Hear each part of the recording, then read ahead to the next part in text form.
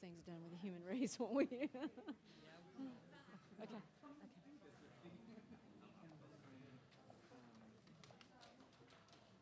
You wouldn't know if there's any way to make it appear here, so I can see what's. You want me to? You want me to move, just move that over?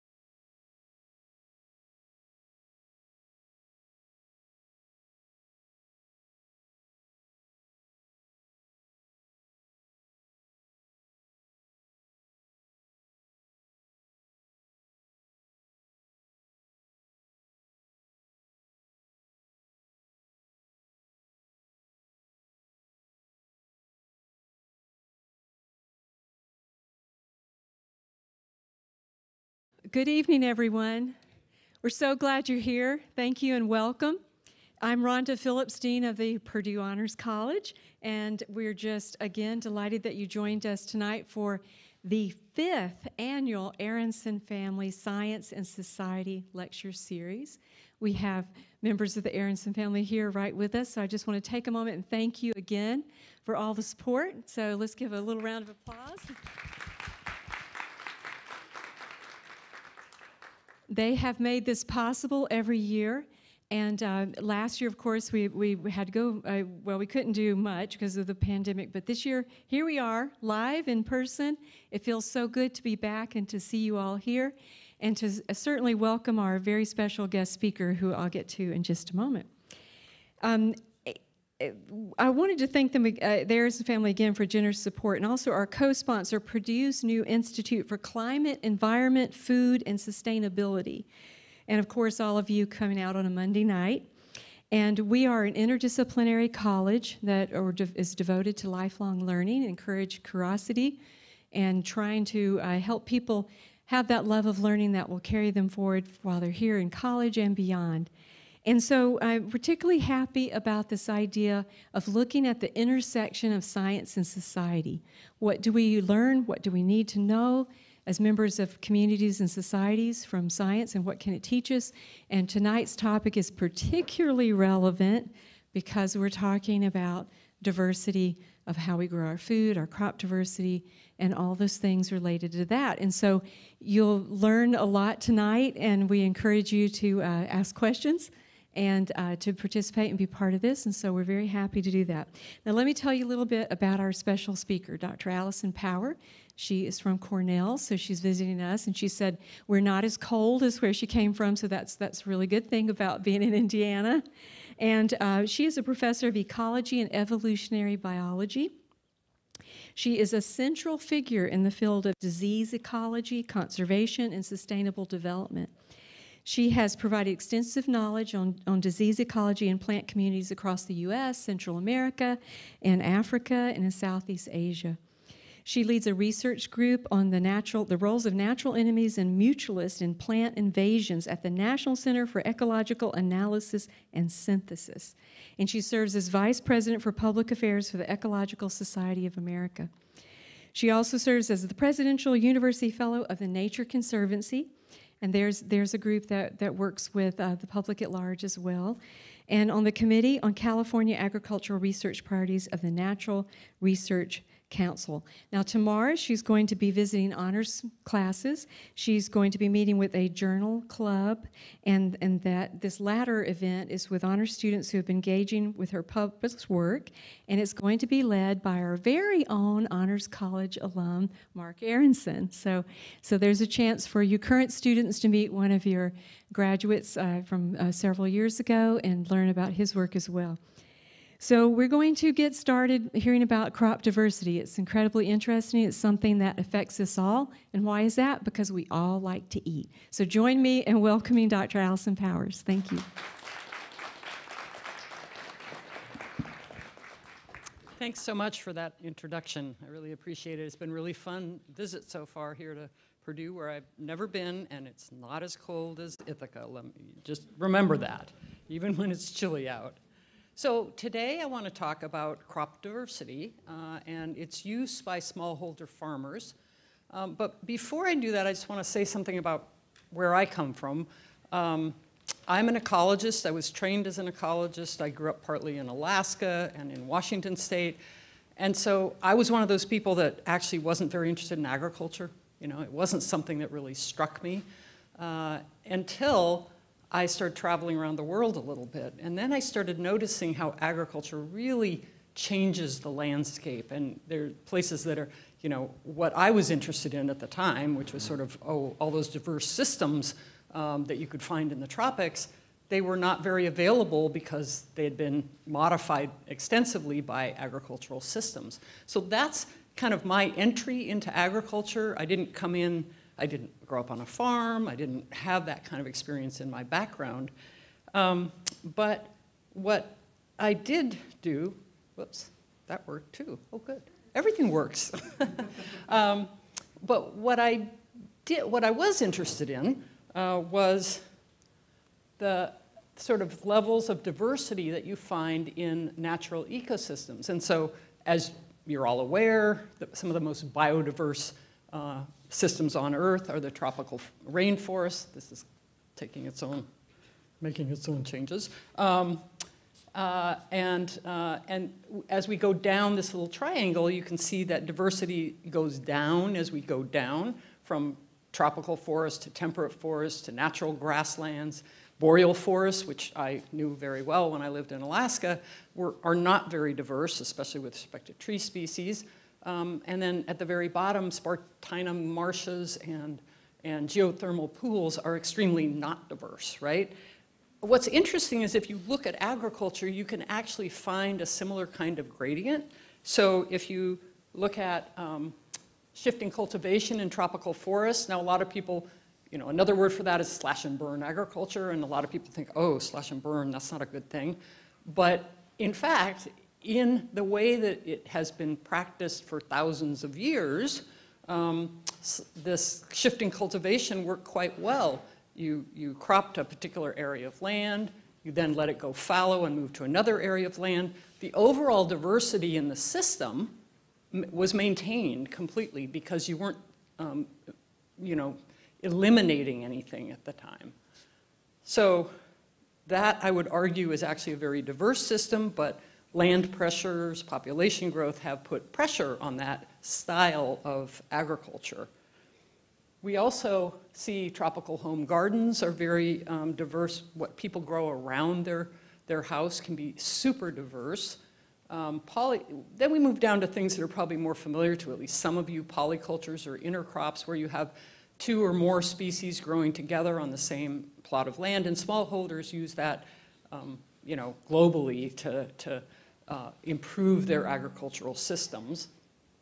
And then if we keep going down, we see varietal mixtures where you have maybe two varieties that you're mixing together, and I'll actually talk about some of those uh, today. Uh, and then as you go down into different crops, you find that some are more diverse than others in terms of their genetic diversity. So wheat varieties uh, tend to be open pollinated, and therefore um, they have a lot of, a fair amount of mixing of genetic material.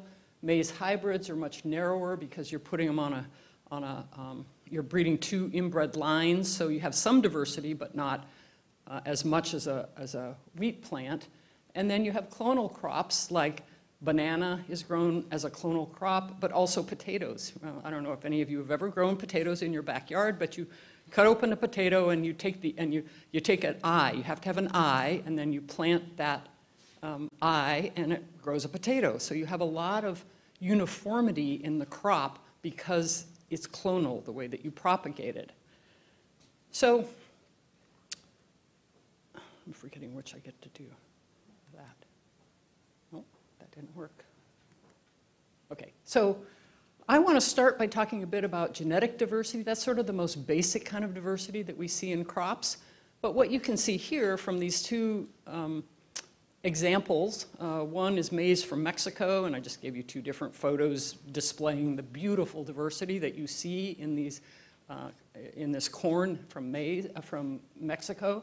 And similarly with the potatoes, um, this comes from Peru, and it actually this bottom one is a single field of uh, of potatoes with all these different varieties of potatoes in the field. And this is one I really like. This, this one was um, called, in Quechua, the local language, was called the potato that makes the mother-in-law cry. And it's because, because when you peel it, it's so hard to peel with these deep, deep eyes, okay? So, you know, there's a super amount of diversity, and these are obviously from smallholder systems. You wouldn't see that kind of diversity.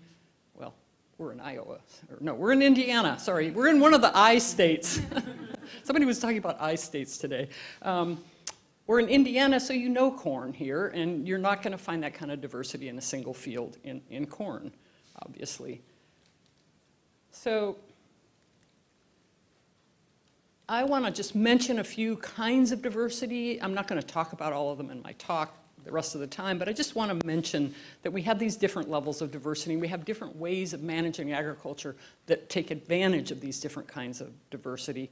So for example, we have crop genetic diversity that I just talked about. We have crop species diversity uh, in polycultures. So here's a mixture of the potato varieties I just talked about. There are like seven um, varieties present here. Here we have seven species present uh, in an intercrop, uh, and people still grow food that way in many parts of the world. Um, here we have, over here, we have structural diversity. Oh, and then, there, oh, sorry, there are other kinds of uh, crop species diversity, these polycultures, cover crops. People who use cover crops are effectively using an intercrop in their system.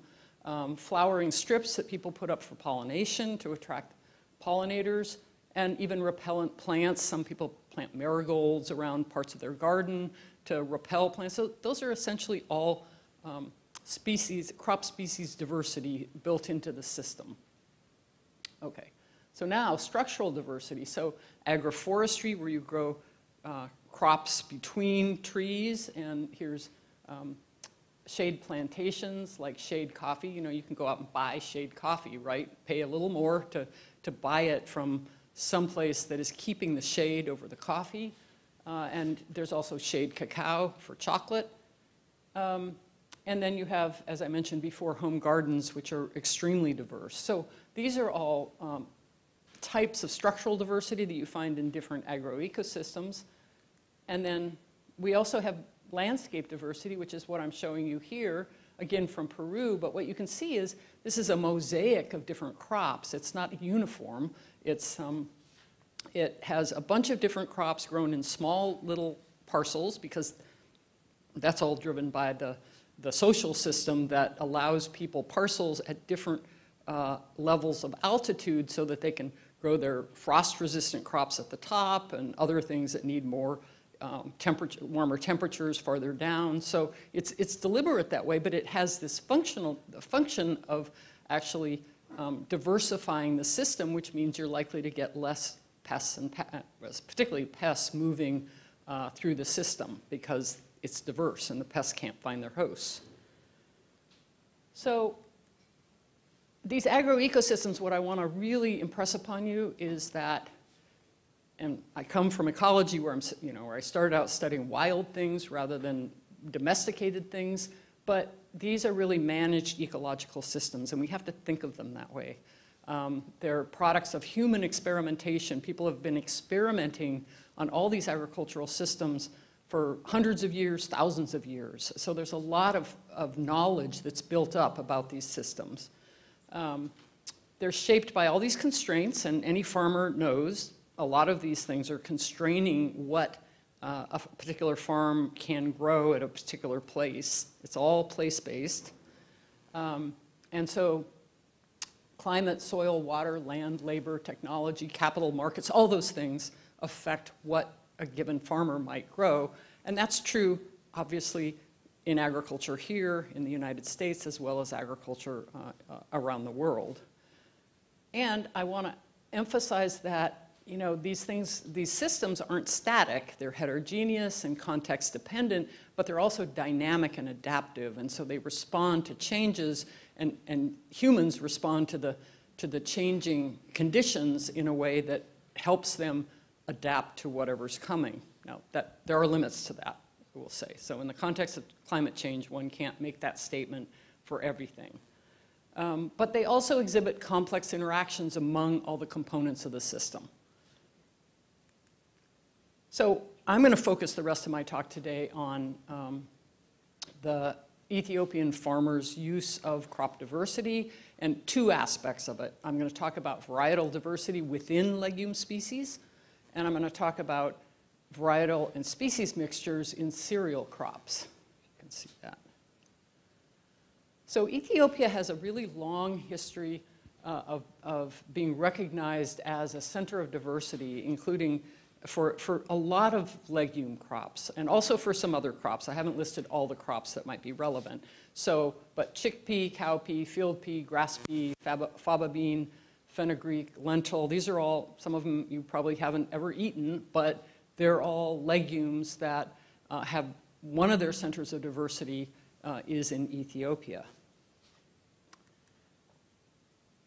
And for smallholder farmers in Ethiopia, these legumes provide a lot of really important functions, serve a lot of functions that are really important. They're food, obviously, protein. We, anybody here who's a vegan or a vegetarian is going to probably be eating beans to get protein. Uh, but they also feed them uh, to their uh, animals, so they serve as forage or fodder for animals. They, they improve soil fertility because, of course, legumes are nitrogen fixing. They take atmospheric nitrogen and turn it into something that's usable by plants. That means when those plants, when you have, um, uh, when you have those plants in the field, they're contributing nitrogen locally. And then they also provide cash income because people eat a lot of legumes in, in Ethiopia, and so that they can sell that for cash to use to buy, to buy the things they need that, that they can't grow, which, of course, there are lots of those. back. Sorry.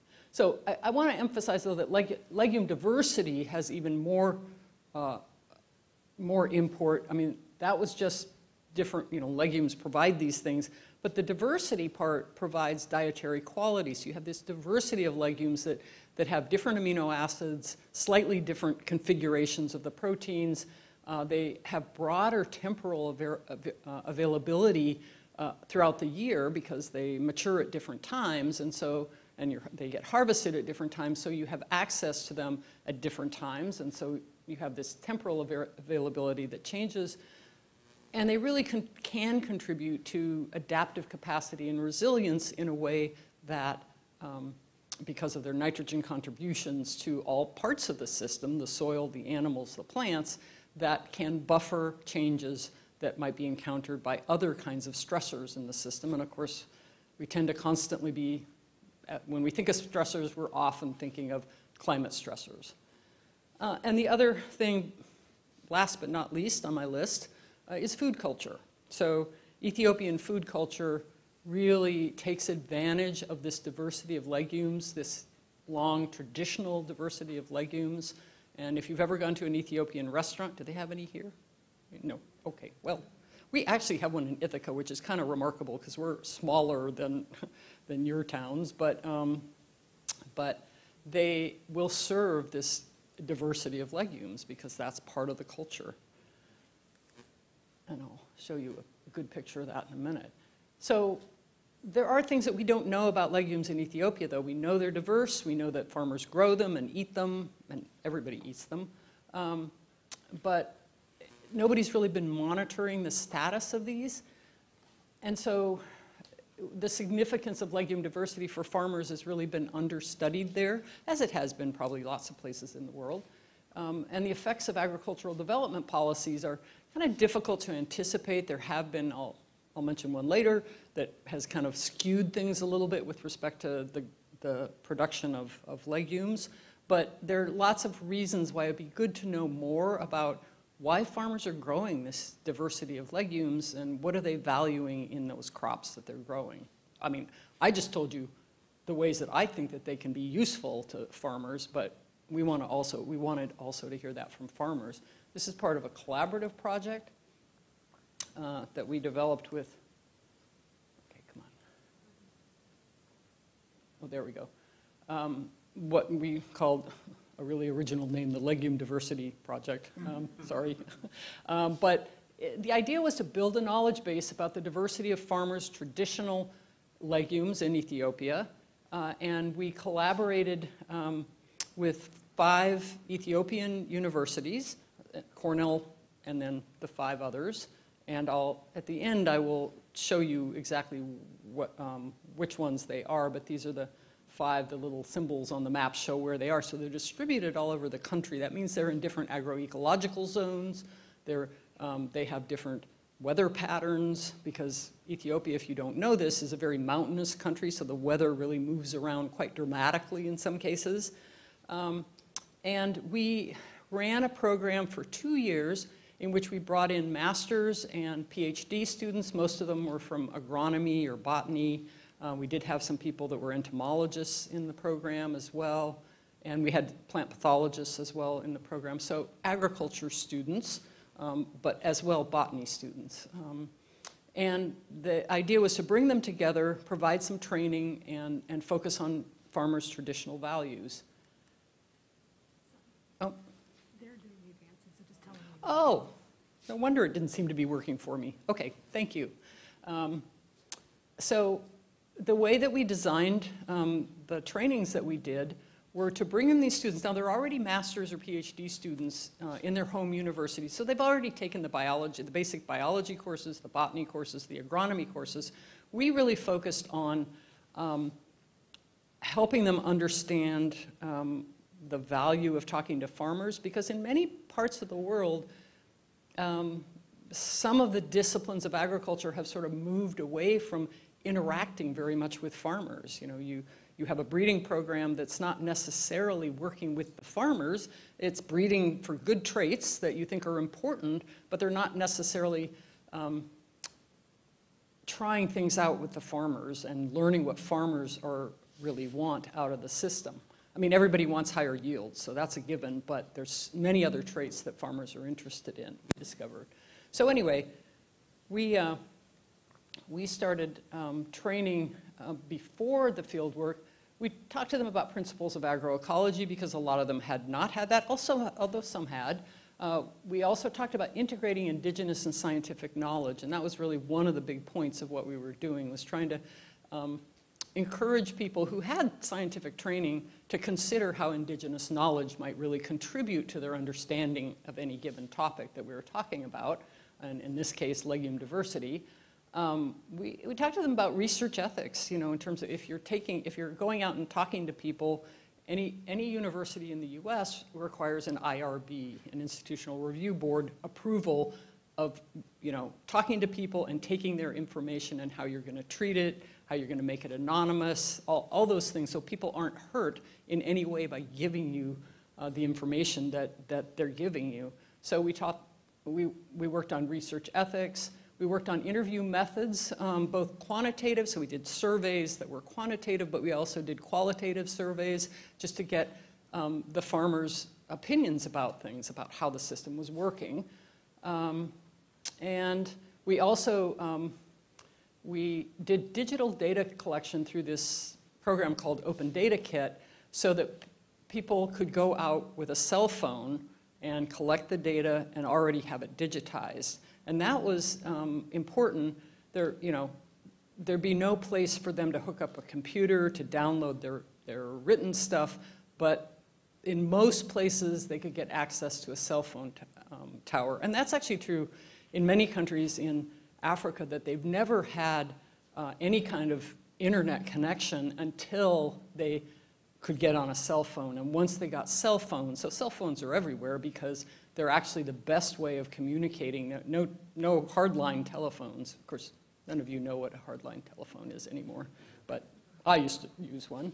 Um, and then we also um, trained them, you know, started training them if they hadn't used it before in geographic information systems. Oh, and I want to point out that Open Data Kit and QGIS are both open source, so they don't have to pay to get the programs, which is really essential if you're working in that environment. And so we, everything we did with um, software, we made sure it was open access software. So then, we, so then the students went out and spent months and months out talking to farmers. I wish I put in the picture of one of them. Somebody, he was so tired from climbing. He was in a very mountainous region, and so somebody gave him a mule to ride. And so, you know, he's, he's almost taller than the mule, but there he was. At least he had something to ride while he was going up and down these mountains, these very steep mountains. But they went out and did this field work. It was amazing. Each student uh, interviewed 144 different farm households and got all this, went through these long, relatively long interviews about the, the um, species that they were growing, the species they were using. I'm only going to give you one or two of their results today because it would take me all day, but they learned a lot from these farmers. And many of these students, they came from farming communities, but they'd gone to town and gone to university, and they weren't necessarily aware of all the things, even in their home communities, that might be important to farmers. So a lot of them said that they really learned a lot from the process and they were going to continue um, making sure that they were actually learning from farmers as they went forward. Then we brought them back for a second training the next year after, after they were finished with their field work. And in that case, we worked on data management and visualization, statistical analysis in R, which again is a free program, open program, um, and then writing scientific papers. We've continued to assist them um, with preparing manuscripts for publication and assistance with the publishing process. Um, and so many of them, especially from the first cohort, have already published papers on their on their research with the farmers. So they all focused on different variety, or different legumes and in different places and maybe with some different specific interests. And so um, that's been, in my view, quite a success. Um, I just wanted to point out my two postdocs that um, worked on this project who have really been instrumental in making it all work because I didn't stay and I, could, I went every year for a few weeks, but they would go uh, for long periods and really um, assist the students and also get out in the field and kind of ground truth a lot of things. So Morgan Ruelle, who's now a faculty member at Clark University, and Alex McAlvay, who is now uh, curator at the New York Botanical Gardens, and, and they're both continuing to do this work in Ethiopia, which is great. And this is some of our groups of students and what they're doing, as you see. So.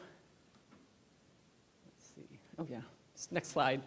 Sorry. I keep clicking it thinking I have it. So I, I want to emphasize that we used a fairly rigorous approach to come up with common protocols so that all the students are asking exactly the same questions um, to the farmers and recording the um, data in the same way. And we stratified the sampling um, to make sure that we were including different cultural identities and keeping track of that because as some of you would know, um, Ethiopia has, um, by one count 86 different languages in it, so that means actually 86 different ethnic groups, uh, some of which are you know, fairly closely aligned, but others are very different. And so just making sure that we actually could track if there were ethnic differences in the use of these varieties. Um, we also looked at agroecological zone because you would predict that different varieties would be grown in different agroecological zones. Higher up in the mountains, some things are, do better, lower down, other things do better.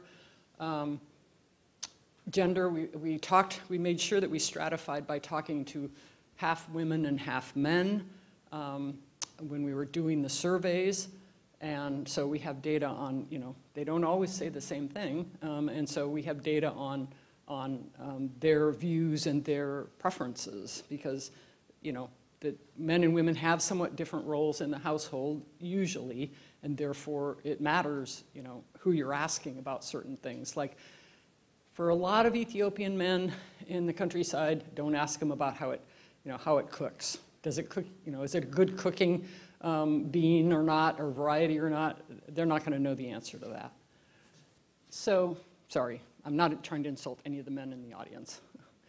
Um, uh, and then we did these, we also tried to find, in most communities, we were able to find what we were calling a key informant, meaning somebody who everybody said, this is the person that knows everything about the varieties that are in the community. So we would do an open-ended kind of questionnaire with these people to just try and find out, you know, what were the attributes of the, of the varieties that were present in the community, um, the nutritional and medicinal values of different um, crops, and then also the changes, like historically, what were the changes in abundance of those, of those crops. I'm not going to, again, give you all that data because that would be, you'd be here all night. Um, but just to know that we really tried to cover a lot of bases in, in what we were asking um, people. And thank you. You just see me push the button and then you do it. Thank you. Um, so this is, um, it's got different, it's got different colors in this one. But anyway, this is a different, uh, this is a, a view of varietal diversity per region, per zone is the, is the term that is used in, in um, Ethiopia. But it, it's bigger than a county. It's more, it's a larger piece uh, of the country than a county might be. Um, but and what we found was a lot of variation between, here are the five crops at the bottom, common bean, faba bean, fenugreek, field pea, and groundnut, in case you didn't know that peanut was a legume. Some people might not. Um, and what you can see is that some crops are incredibly diverse at the regional level. So, so uh, the common beans in both of these zones were, you know, 15, well, 16, 18, 20 varieties found uh, in the region. And uh, others were much less diverse, like um, fenugreek in particular. We only found one or two, um, in any given zone, we only found one or two varieties of, of fenugreek.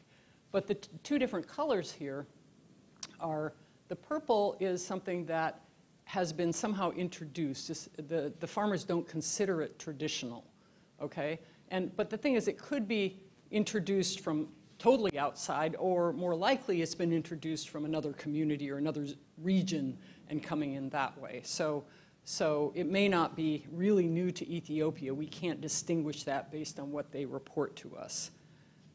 Next, please.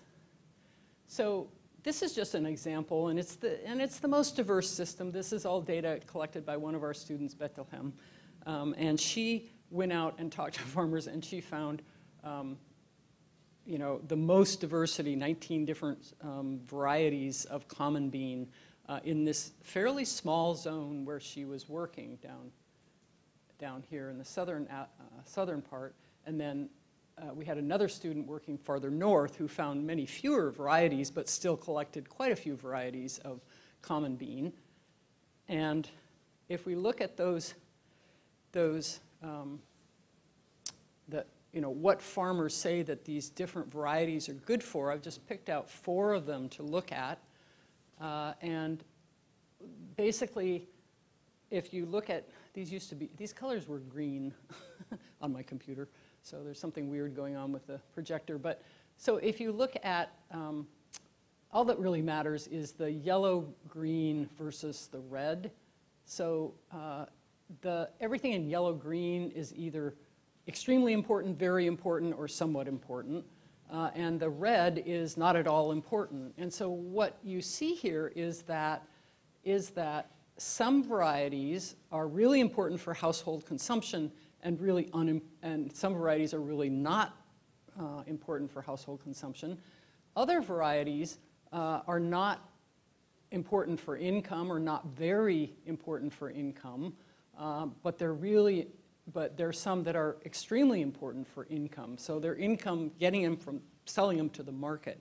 And the one that stands out is always Nechbaloke, which is this bean that the government has been promoting because it's the bean that Europeans prefer. So their exports are going to, to Europe, and so the government wants, as you would expect, wants to get uh, more foreign currency exchange and wants to bring that into the country, and so they encourage the, the extension agents go out and encourage people to grow this. And so they do grow it for money, but they would never eat it. You know, they, they don't like it. And I have to agree with them, it's not nearly as tasty as many of these other varieties of of the ones that I've sampled. Next slide, please. So, um, coming back to this idea of how many varieties there are of these different species, um, and which ones are new and which ones are traditional, what I've added here is that top figure is what I already showed you, how many are available in the zone. And we, you know, again, we can see that common bean over here uh, has a lot available in the zone. I can't see my pointer now. Um, but uh, if you drop down to at the community level and the per household level, what you see is that any given household is only growing one to two varieties of these crops. Okay, so any given year, they're growing one to two varieties, but intermediate between the zone and, and the household is the community level. And so what you see is that at the community level, they're, they're um, for most crops, except for, except for fenugreek, um, uh, they have many more varieties available at the community level than they have that they grow in a single household. And so our interpretation of this is that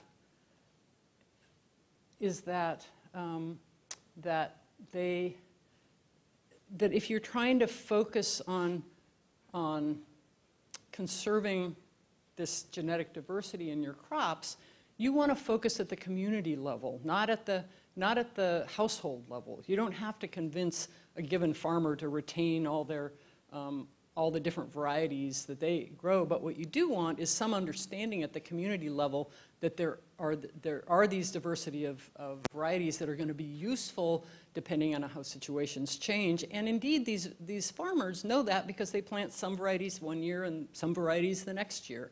So maintaining that at the community level we think is probably a really important step rather than the zone, which just gets too big um, but if all the communities are engaged in this, they could retain a lot of this. And indeed, there, are, there has been the development in the last five years or so of, of community seed banks where people, farmers bring their seed to this community seed bank and then they can get seed from, if they put seed in, they can get other seed out of the community food banks. And they seem to be working pretty well. Um, at, at least when I could last get to Ethiopia, they were working well. So Sorry. so one last point I want to make um, is that despite what I just said about cons conserving them at the community level, um, what we see when we look across all the different um, varieties of, all the different areas that have varieties of these legumes is that very few of the varieties are actually being used by a large proportion of farmers, okay? So the green is the ones that are used by at least two-thirds of farmers in a given community. And most of them are used, uh, you know, medium is up to, is up to one-third, and low use is just does somebody use them? And then what's perhaps most concerning is, and so that's the dominant part of this, is that maybe only, you know, uh, very, very few people use any particular variety, and so there's more chance of losing that variety in the system. Uh, and, what's, and what's also kind of backs that up is the fact that in almost all of these crops, people will tell you, oh, we used to use that, but nobody uses it now. And, you know, no, I don't know anybody who actually keeps it anymore. So these seem to be varieties that have been lost, at least from that region. Now, it's possible that some other region might be using them. And that might be to ex be expected if climate is changing in a way that some regions are becoming inhospitable for that particular variety, but other regions are, being, are becoming a better place to grow that variety. But we don't have that information, so it's still concerning to us that there isn't, there hadn't been sort of a concerted effort to um, conserve this genetic diversity. However, all our students that went to the field got samples of all the varieties that they, that they um, talked to farmers about. They collected some and brought them back to the Ethiopian Institute of um, uh, Biodiversity so that they can be in a seed, and they're being put in seed banks so that they can be uh, accessible not just to individual farmers, obviously, or even communities, but also to breeders who might want to use them to uh, adapt other um, varieties in the context of climate ch changing climates. that's one thing. There are other things that are changing as well, but that's one thing. Okay, so, oh, I already showed that one, sorry. Okay, move on. Yeah, thank you. Um, so just to summarize a bit, so these traditional species and varieties are really an important um, part of food, um, fodder, income throughout Ethiopia. And farmers' ratings of varieties really indicate significant differences in these varieties. So they'll tell you that this one is resistant to drought, this one is um, uh, tolerant to this particular pest, or, or maybe not tolerant to that particular pest. They have that information, and that you know we can learn from that. And and as it goes into a formal breeding system, that information could be really, really useful to the breeders. Okay, so that's the way we feel. That's why we think it's really important to be talking to the farmers. Um, what we do know is that legume diversity per household is quite low compared to those available within the community or especially at the, at the regional level. And most varieties are used by less than a third of their community. So conservation efforts really, we think, should be focused at least at the community level and then after that, maybe at the zone level. Okay, next slide. So I'm going to switch now from those single varieties we were talking about. That was all varieties grown as a sole crop, the only crop in, in that particular field, and talk about mixtures of either varieties or species. But I'm going to talk about a very special kind of mixture. So I showed you pictures of polycultures where they had, you know, corn growing with beans, uh, with um, uh, other kinds of root crops growing in there. So a whole diversity of kinds of crops. These are really interesting, and I have to say, I'd never seen them until I went to Ethiopia. Um, but uh, I'll show you in a minute that they're more common than I thought they were. Um, farmers in northern Ethiopia plant mixtures of wheat and barley, which they call maslins, uh, mixed together, okay? And that, you know, that's not the typical intercrop. Most intercrops are sort of taking advantage of the fact that, oh, you grow corn with beans, the corn needs a lot of nitrogen, the beans are fixing nitrogen, so that's a really compatible system. You know, the, the needs aren't that different um, for wheat and, and, and barley, but um, the, the way that they grow them is to plant them, manage them, harvest, and, and eat them, they use them uh, simultaneously as a mixture, which was something that I've never seen before. And over generations, uh, it seems that this simultaneous harvesting has led to synchronous maturity. So all these varieties are maturing at different rates. Well, it's one thing if you're going out and hand harvesting, well, even for hand harvesting, it's a pain. If, if your plants in your field are, are, are maturing at different rates and you have, to harv- you have to go out and harvest for weeks in a row to make sure that you're catching everything before it shatters and falls to the ground, um, that's very painful. And they have apparently selected for this simultaneous maturation across not just varieties of the same species, but the different species as well. And the proportion of the species and varieties shift in response to the variable weather um, conditions. So, you know, one year the wheats do better, one year the barleys do better, but you keep harvesting the, the, the crop as a crop, as a one crop, and continue to grow them that way. Next slide. And this is just an example um, that Alex uh, talked to this farmer who grows three wheats and four barley varieties in one field, and he, this is just such a beautiful, if you like grasses, I love grasses, this is such a beautiful photo with all those different colored barleys and wheats, um, and the, these are um, you know, what's nice is when different varieties actually show you their true colors by having different colors. You know, in my view, that makes it so much easier. You don't have a, you don't need a genetic analysis or some very careful morphological analysis to figure that out. But, you know, this is what people are growing and using for their injera, for those, um, actually I have a photo, yes, next. And here's the photo for any of you who have eaten Ethiopian food. This is a really classic um, picture of Ethiopian food. I see a few people nodding. Um, so you have all these legumes. You have some other vegetables on uh, here. Um, that's a legume. That's a lentil. Lentil. Different um, different legumes here and some other vegetables.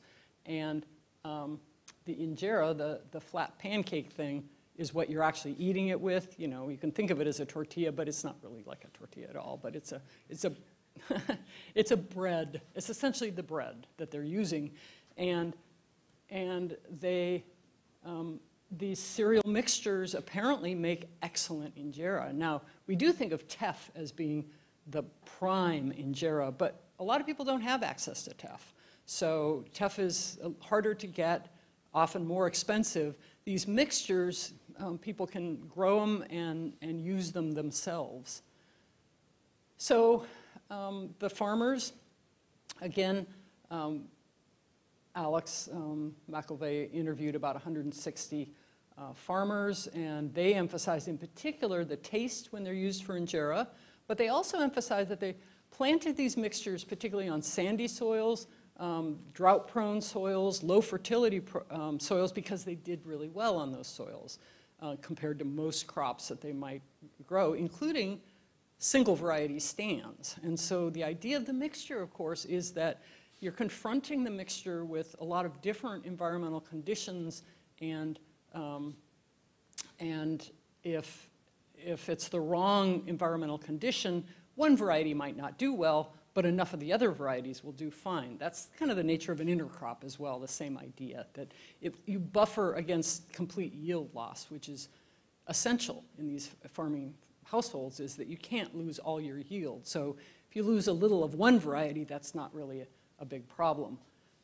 Now, despite these advantages that we can see, um, extension agents have been promoting, just like the white bean that I showed you, they've also been promoting a bread wheat um, that is an improved bread wheat, and it has taken over in some areas, not, not much in other areas. And so it's kind of a, it's one of these questions about, obviously, genetic improvement in crops is a good thing, um, and it's very useful for protecting crops against pests and pathogens in some cases. But, uh, and, and, so I'm all in favor of breeding and genetic, and, you know, genetic modification when you're searching for particular kinds of traits that you need. But the problem here is that you really need, we think you're going to need that diversity in the context of climate change, and it doesn't make sense to replace everything with one variety of bread wheat. Um, and I feel pretty confident of that. Um, so oh man, these colors are not coming out. So hopefully you can make out the geography here. But what I wanted to say is that as Alex and my, and my graduate student Anna have been working um, on, on trying to gather a lot of evidence about these wheat barley mixtures and other mixtures of similar um, species, they came through the literature, through a literature search, came to find all sorts of places where these um, maslins are being grown right now. So, for example, in Belarus, in the Caucasus, um, you know, they grow, well, they grow wheat and rye in, in up in here, um, wheat and rice over here, which seems to be missing entirely. Um, oop, I didn't want that yet, but that's all right. It doesn't matter. It doesn't matter. My point is there are these that are currently being grown regularly by people, and you can go there and you can find them. Um, and now, thank you, um, when you search the literature, you find that they were grown everywhere. Well, not everywhere, not in North America as far as we can tell, um, because we didn't do wheat and barley in those days. Um, but they had, um, they had them throughout Europe, uh, Northern Africa, and parts of Asia. You can see that these these, and so these are particular kind of intercrop. They're two different species, but they share so many traits that it's really unique. It was something that most people haven't ever heard of, uh, including a lot of breeders, a lot of people who work in agroecology that are always talking about using intercrops. They'd never heard of this before. So it's actually, it's gotten really interesting to us. And um, just want to put this up as sort of a summary for the, so where these things sit, what we're calling confamilial, because they're in the same family. They're all Poaceae, all in the grass family. So um, where they sit with respect to interfamilial um, polycultures, which would be things like maize and beans. And then at the other end are varietal mixtures, which I talked about uh, also, which is mixes of different varieties but of the same species. And what we're find, you know, what we think is that there's sort of a continuum with respect to several of these different traits that I've listed there. So there's um, crops can be grown for similar purposes. They have substitutability. Well, that's obviously going to be higher for bean, for bean mixtures than it is uh, for maize and bean. They're, they're not going to be substitutable for the, for the purpose that you want it for. Um, functional and nutritional complementarity is going to be better down here uh, for, for maize and beans. Um, ease of combined planting management and harvest is going to be best for the same crop, just different varieties of the same crop. But it turns out it can be quite good for this particular uh, confamilial mixture. Uh, ease, uh, combined uh, differential responses to climate conditions. Actually, it's probably it's probably pretty broad for these confamilial mixtures, somewhat less for varietal mixtures, but even varietal mixtures have some advantages over just a pure stand of a single variety with respect to yield stability. And then susceptibility to similar pests and diseases. That is one thing about these like wheat and barley mixtures is there's some diseases that cross, infect both wheat and barley.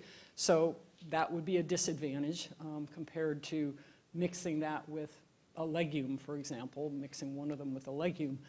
But they still do quite well compared to um, a pure stand of, a partic- of one thing. So these are the kinds of, you know, this is, this is my trip from, from biodiversity as an ecologist to biodiversity uh, in agriculture.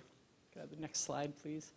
And I just want to summarize um, by saying that climate change, uh, which we all know is increasing droughts and the frequency of extreme weather events, um, is a challenge both to our conservation of these varieties, but, but it's also a challenge to us to do our, you know, do conserve these varieties to make those genetic resources, which I saw was misspelled, sorry about that, um, available for adaptation. And farmers' use of these varieties, they're choosing these varieties, they're selecting them for good reasons, and they can help us buffer uh, against changing climate and also potentially damage from increasing pests and pathogens, which is what we expect with rising temperatures in particular. So we are continuing, we really just started this project and then uh, the pandemic hit and there was also some civil conflict in Ethiopia, if any of you are familiar with that. And so we've kind of had to shut down with our field work, and that's actually how all that literature survey got done because nobody was going to the field and everybody was reading papers about it, and, and they really came up with an amazing amount of material um, that we have been able to use. But that's where we're planning in the future. We might have, we don't know what's going to happen with respect to going back to Ethiopia to do this work, but we're hoping to work on these confamilial mixtures and understand the potential um, of these to be helpful as we move uh, more directly into climate, changing climate. And I should stop and take questions. I know.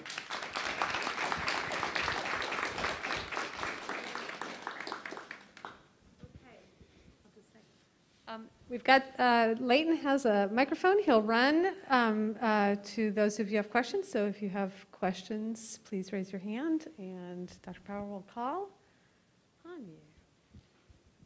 Don't hold back.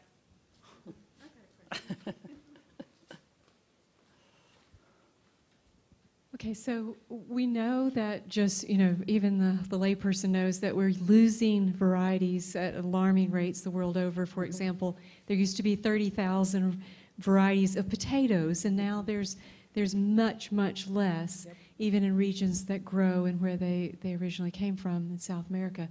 So we know this. We know logically that we're losing our varieties. We know that we're losing plant diversity. But yet we see little connection to policy, either whether we're talking regionally, uh, at the country level, and certainly even in, international. So, what does someone like yourself who, who sees this on the ground, what do you suggest that we begin the conversations around so that we can help preserve this kind of variety that we need to survive? It's not just nice to have corn in 15, 20 colors. It's a matter of our survival long term. Yeah, it's a challenge. I'm not going to deny that. I think that the community seed banks that are being developed in a number of places now are one way, but they're, you know, they have limitations too, in part because they're underfunded typically. So, um, you know, one of the things about a seed bank that people forget about is that if you put it in, you can't just leave it there. Uh, you have to bring it out and grow it out periodically. Uh, and so you have to be able to do that in order to maintain what's in there. It, you know, eventually it degrades. It may take a while if you have good storage. A lot of places in a community seed bank aren't going to have really good cold storage for keeping these seeds. And so there is this nature of seed banks that are difficult. You know, in a sense, what we're proposing here with what saying community level conservation is also um, in, you know, in situ conservation. So seed banks we call ex situ conservation because it's taken away and put somewhere.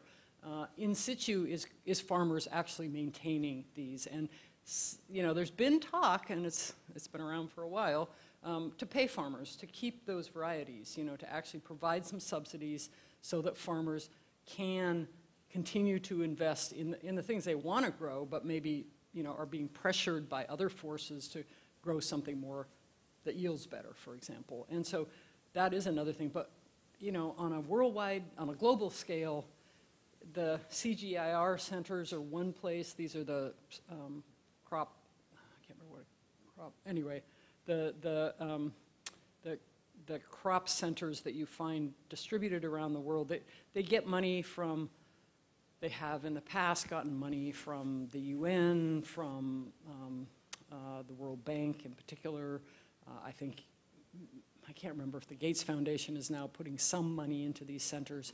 They're well established. They all, pretty much all have seed banks of different crops. So that would be one way of trying to do it. Of course, most nations have seed banks. The problem is just um, how good are they? Are they keeping things in good condition? All those kinds of things. But, you know, we have our, our wheat. I'm pretty sure this is true, that our wheat is out in Pullman, Washington, you know, our seed bank for, for wheats. I, correct me if anybody knows I'm wrong about that, but I think that's where it is. Um, and, and we have a whole series of seed banks in the U.S. that where we maintain the crops that we think are important. Um, but of course, that's not the whole world worth of crops. And so, you know, we, we really do need a better uh, system to support it. And it seems like it has to come through something like the UN, uh, the Food and Agriculture Organization of the UN, to really make this happen. And, but money, you know, money. Um, pandemic, money, yeah.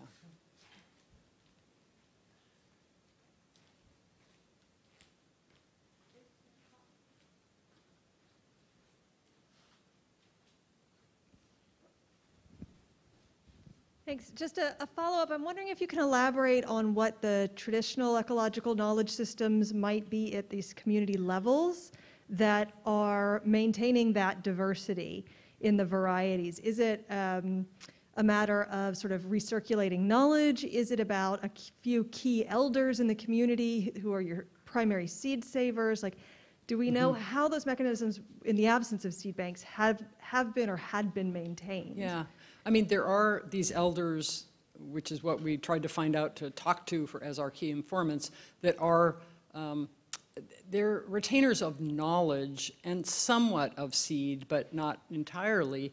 But what we find is that in these communities, there's a lot of seed exchange. That doesn't mean you won't lose some, because if nobody thinks, oh, that's really what I want to grow right now. But when you ask people where they get their seed, uh, a lot of them get it from neighbors. You know, you saw this growing in their field. Oh, wow, that looked really good last year. I think, you know, I would like some of that seed. And so they do a lot of seed sharing. That's, that's probably not a completely reliable way to just keep seed in the system. Um, they also, though, they get a lot of their seeds from markets. So people go to the market, they take their seed to market, and then they buy seed at the interesting seed from the market. So there's sort of a whole dynamic relationship um, with seed production and seed sales.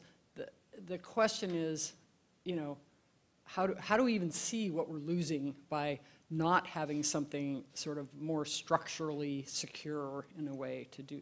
And I don't really have a good example. I mean, again, these key, these um, community leaders who have a lot of knowledge and do do retain uh, varieties, but I don't think you can't count on them to do everything for the community. Um, so you know, so so far there's still a lot of diversity. Do I know that that's going to continue based on the processes that are in place right now? I don't know.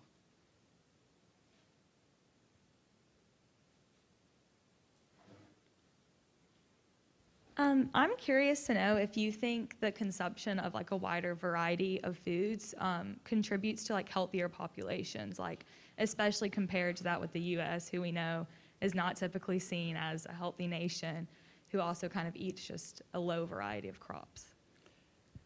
Yeah, I mean, you know, it's interesting. We were, I was having this, somebody commented today about how when they were growing up, they could never get avocados. I can't remember who it was, you know, and now you can get avocados everywhere, you know. So actually, we have access to a amazing diversity of crops, and partly it's because we're getting them in the off season as well as the season. It used to be that good fresh fruit you could only get in the summer. I mean, when I was, okay, well, I'm not going to talk about when I was growing up. That was too long ago. But in any case, there there are these things that have changed. So we do have access to, you know, yucca in the supermarket. You can buy yucca anywhere now, or maybe not anywhere, but you can buy it most places. Um, that was certainly not possible. So you know, this globalization of food, I feel like I've benefited from it because I get to eat things that I never got to eat when I was a kid. But it does, you know, with globalization often comes homogenization, and that can be a problem if you're just going to have everybody eating the same thing. And one of the indicators of that is um, how junk food travels and how, you know, populations that never had high rates of obesity now have high rates of obesity, usually be, not because of um, you know, mostly because it's not good quality food. There, it's being highly processed or other kinds of things. Whereas I feel like we're getting the benefits of this globalization by getting all these fruits and vegetables that we didn't get before. But it's up to us whether we're going to eat those or we're going to eat junk food, which we have plenty of it available. I don't think I really answered your question.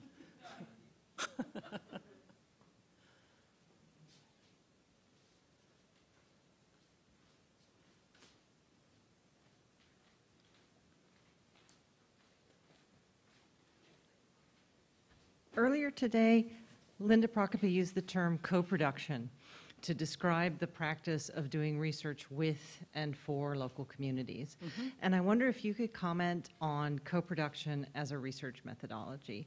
Obviously, it's important to you. I see that you're not only working with indigenous farmers, but also, also with a crew of Ethiopian collaborators. So could you talk about why you do that, and does it intersect with your interest in environmental justice?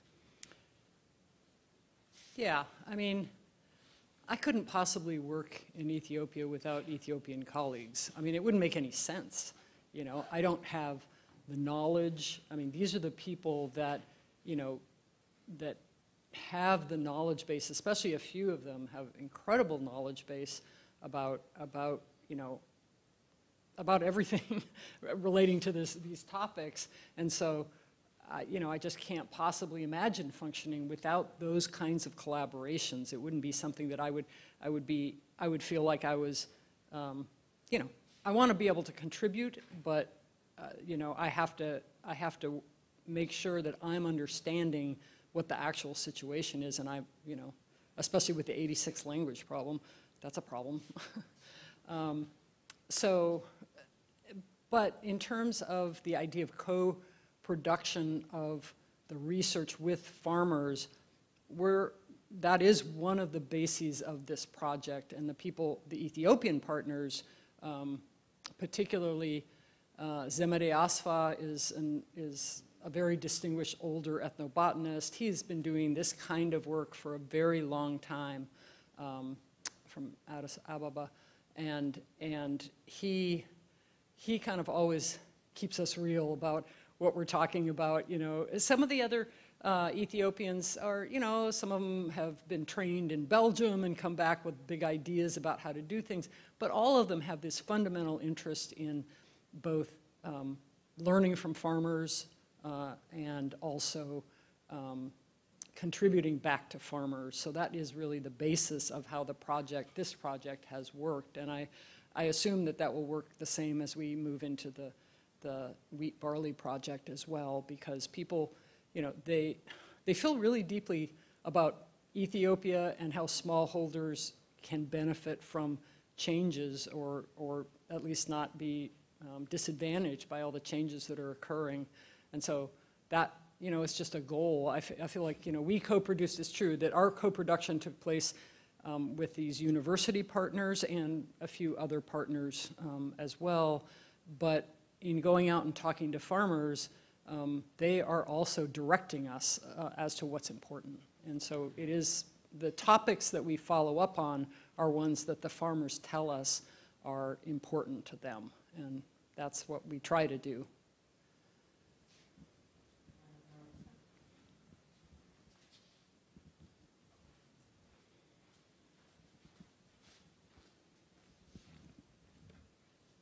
Just following up on that, a lot of your narrative is about how the indigenous knowledge has kind of given them resilience against certain mm-hmm. types of climate changes and things. Mm-hmm.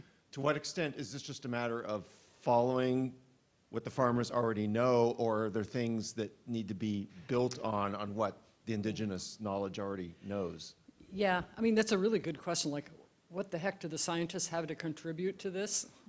I mean, part of it is, I think, you know, we can actually try to identify, you know, they say that this trait is important to them, uh, and then we can try and identify what's causing that trait and be able to build it into other varieties which might have other good, you know, traits, but they don't have all the good traits. And so there are ways that you can take the knowledge that they have and they tell us about, uh, and, and then take it to the breeders and other people who are really exploring these traits uh, and, and try to Im- actually improve the agricultural system. So, yeah, it's not just about, well, I mean, some people would, are, you know, would sort of say, oh, you're just leaving them in underdevelopment. Well, I don't really feel that that's true if it's working for them, but what we anticipate is the challenges of climate change and other kinds of challenges, like globalization challenges and uh, economic challenges that, that have, you know, economic changes and trade,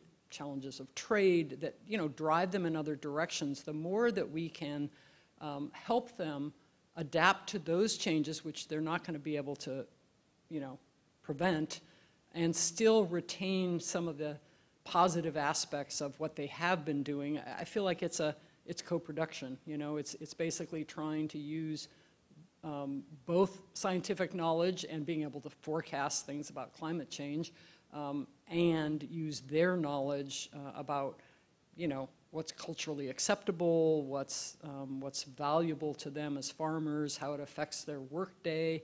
You know, again, we've actually asked them a lot of questions about, you know, what's difficult. Um, how do you, you know, how do you, do you have to treat this one differently than others, you know, when we talk about the different varieties? So I, I feel like we're, what we're trying to do is integrate these two knowledge spheres in a way that in the, the result is to feed it back to farmers and to the policy of the, you know, policymakers at probably not the highest government levels at this point, but at lower government levels, like within the district, that, you know, might be able to change some things and change, for example, access to um, uh, um, inputs, for example, if they seem like they're a good idea in that case. So I feel like it's a, it's a good question because it's a hard question.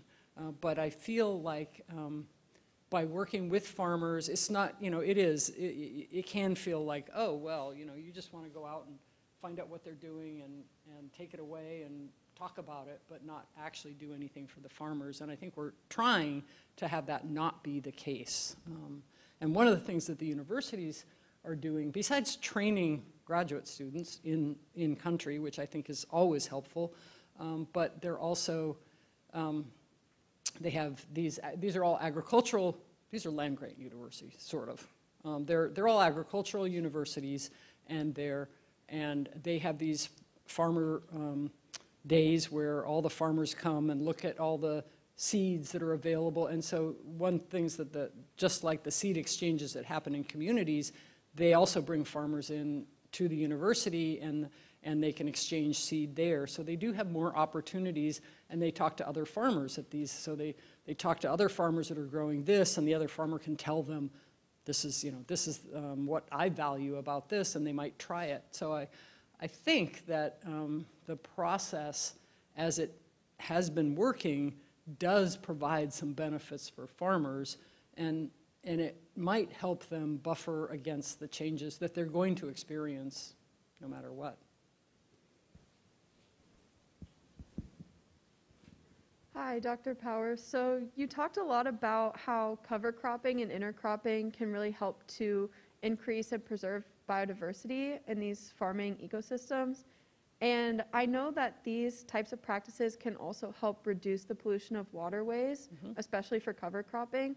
So I was wondering if you might be able to speak to how these practices can help agroecosystems and food production to be more resilient to climate change. I think you just said it, didn't you?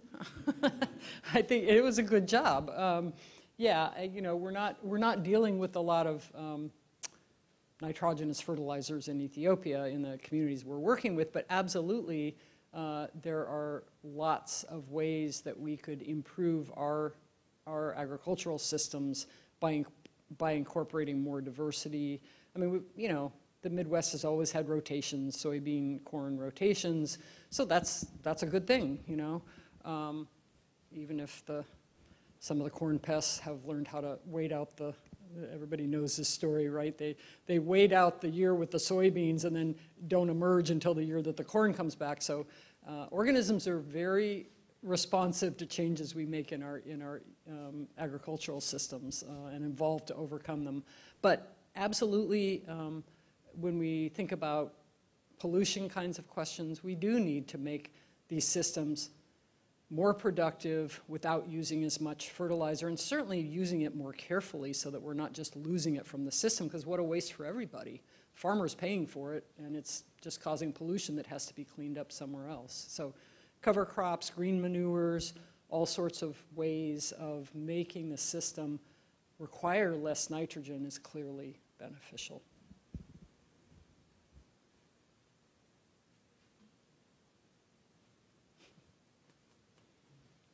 Leighton's getting his exercise. I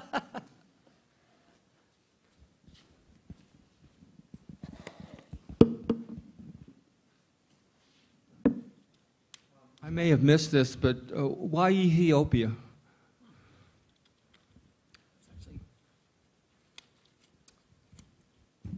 You know, I guess I didn't really talk about how this project started. Um, I had never been to Ethiopia when the when I kind of got um, persuaded to get involved in this project, uh, and I'd never worked. I'd worked a little bit in Kenya on a on a pathogen of, of maize, but that was it. That was my African experience entirely, and um, the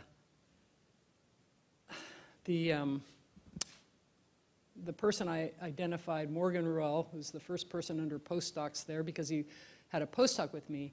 As a graduate student, he worked in Ethiopia.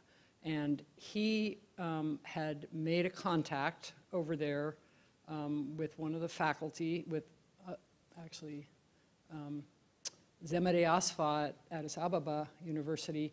And, and uh, Zemede actually was on his dissertation committee. And so we got to know, I was also on his committee, we got to know Zemede, and this really evolved out of that context. So it was a, it was a graduate student that did it, and he became interested. I don't know how he became interested in Ethiopia originally, actually. I'm not quite sure how he did, but he was the one that started the process and then has continued to work and has been, you know, an amazing partner throughout, even though he's now off as a faculty member elsewhere. So yeah, that's how it happened for me. And it, that's an odd way for it to happen. Um, but um, because usually you sort of choose, but I'd worked mostly in Latin America and somewhat in Southeast Asia. I had never worked very much at all in, in Africa. And this was, you know, he persuaded me it would be interesting to do it. And once I met the, the partners that we brought together, I realized it was just a great group to work with. And so Thank you all so much for joining us tonight, and let's give Dr. Powers a big round of applause, and thanks again.